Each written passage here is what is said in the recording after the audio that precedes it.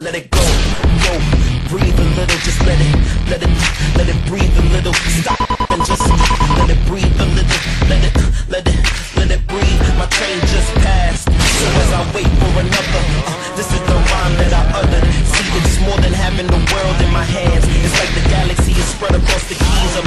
Grand, so it's expand together for better or worse. I create music for the youth and I first. Seems like a blessing, but it's also a curse. When I'm deep in depression, that's the time that it works. My best material is written when everything's pivotal. Each thought is critical.